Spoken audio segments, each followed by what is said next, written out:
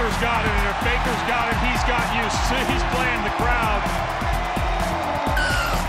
Oh, the showman's turned up in LA. He saw his good mate Carlin Isles get to 200 in game one. And now Perry Baker. 200's coming, baby. Gets it to Isles. Isles,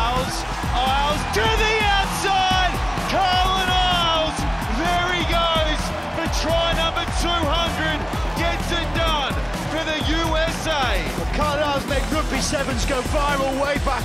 Carlin Isles with 200 to his name.